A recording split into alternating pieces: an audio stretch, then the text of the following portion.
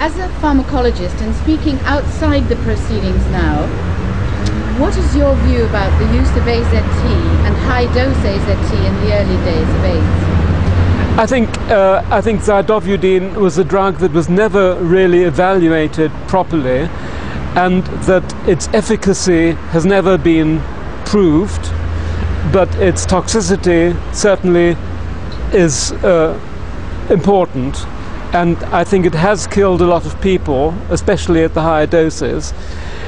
I personally think that it is not worth using alone or in combination at all.